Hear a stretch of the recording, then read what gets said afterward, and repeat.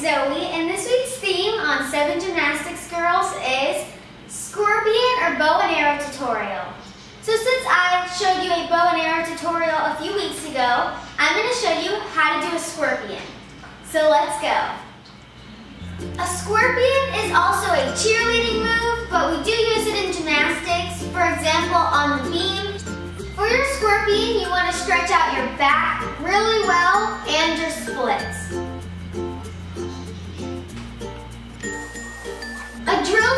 Scorpion is doing backwards kicks and putting your arms back like you would if you were to catch your leg.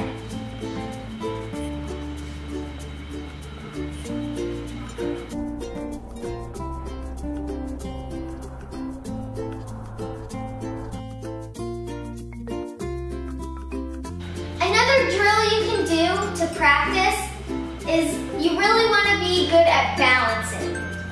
You pick whichever leg you're going to be doing your scorpion with, which I'm going to be standing on my left leg and holding up my right leg. So I'm going to stand on my left and practice balancing like this.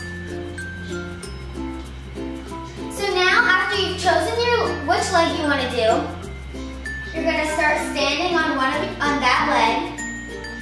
Pick up, take your right hand and grab your right leg mid-calf and start going into an arabesque.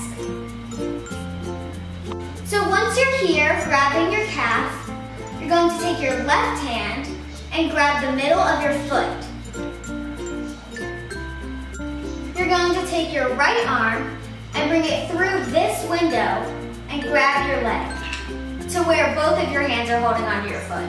Once you're here, you're going to try and take your right hand and let go with your left. And then reach back and try and hold your leg with both of your hands. I don't have my scorpion right now, so I need your help. Comment down below some tips for me so I can get my scorpion.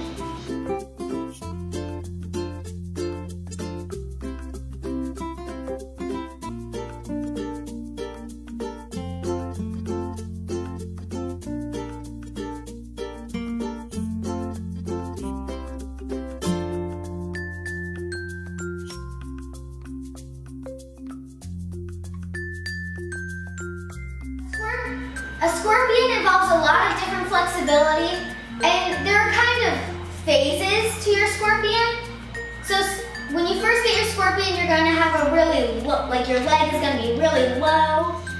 Once you've got your scorpion down, you're leading up to a needle and you want to get your leg really straight for your needle. You want to make sure you practice your scorpion every day. And after you've been practicing your scorpion you definitely want to stretch out your back.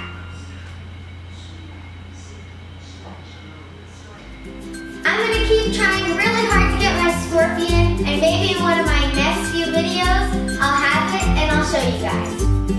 Since the Summer Olympics are coming, for a chance to get a shout out in next week's video, comment down below if you watched the Olympic trials and who your favorite gymnast was that made the team. You